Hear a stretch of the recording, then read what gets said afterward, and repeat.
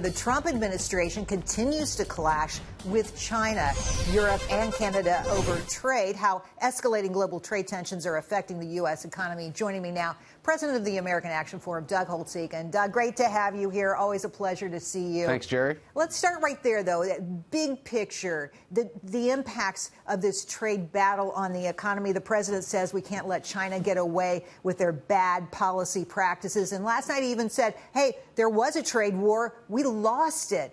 So if the president yeah. tinkers with trade policy, in the meantime, what are the risks to the U.S. economy? Well, I mean, here's what's at stake. The U.S. economy has steadily accelerated. If you look at year over year GDP growth uh, in the first quarter of 2017, it was 2%, something we've seen for years. It's ramped up every quarter, and in the first quarter of this year, it was 2.8%. Most people think this quarter, the second quarter, is even stronger than that. We're going to be north of three. Some people think approaching four. So uh, that's that's growth that the American people have wanted for a long time, and that's what's at risk, and, and that's why people are worried about this if you look at the, the Trump administration's approach, it's clear they've identified the right country. Right? China is a bad actor on the global stage. The only disagreements I, I, see are whether they've got the right strategy for getting them to deliver on their international promises. And yeah, we know exactly. That you know, people talk about you know, whether should it be tariffs? Should we be making sure that we protect our intellectual property? What are the biggest, what are the most important things to go after here, and how do you do it, Doug? Uh, the most important things in the eyes of the administration are the, the components of the so-called 2025 plan. Right. This is an ambitious plan by China to dominate global uh, research and development in, in, artificial intelligence and other advanced technologies. So guarding U.S. technological prowess, intellectual property, is central. The question is, what's the link between tariffs that right. are often on our intermediates that make our goods more expensive and those intellectual property protections. So I, I, think if you step back and look at the concerns of critics of the Trump administration, what they say is look, we get it, but we want to know what actions you want China to take, like what could we see them do differently and how fast, and how will we know if the strategy is working? Because if we don't see that, all we see is tariffs that are hurting our economy. Well, okay, answer the question then. How do you go after that? What is the best way to protect our intellectual property? Uh, we're seeing additional efforts by both the administration and the Congress on export controls. You may not send out of this country these technologies, these uh, particular innovations.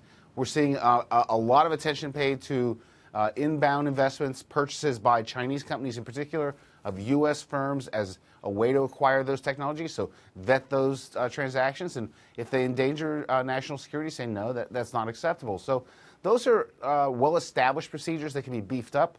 I think we'll see a lot more of that out of both Congress and the administration. Seems to me that has a lot of economic impact, and I know corporate America is yelling yeah. about doing that. They don't. They hate that kind of control. You see what came out of Harley Davidson, like you're messing with our oh, our, oh, yeah. our business strategy here. But uh, before you go, I've got to get you to something else here: the inversion of the yield curve. Okay, that sounds like really wonky and scary stuff. It's just this secret sauce. It's, it's a secret uh, detail from the markets that traders look at that portends economic recession. Right now, that economic indicator portending economic recession. The yield curve has flattened out. And yet, as you suggested at the beginning of this interview, GDP estimates, some of them for the second quarter, 4.5%. So who's right here? Uh, it's going to be a great test. Uh, if you look at formal models of the probability of recession, most of them put the probability at something like 10% over the next 18 months. Yet we've seen the yield curve flatten historically. That has portended a slowdown or even a recession. So those two indicators are in uh, strong contrast right now. I, I, personally am coming down against the yield curve on this one. I think the next 18 months, uh, there's, a, there's enough in the pipeline in terms of good policy from the tax reform, the dramatic reduction in regulations that, that it's unlikely we'll see a downturn.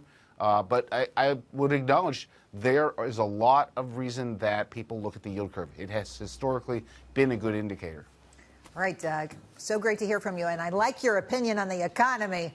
That would be better than the opposite, right? Thank you so much for coming on. Yes. Great to see you. My pleasure.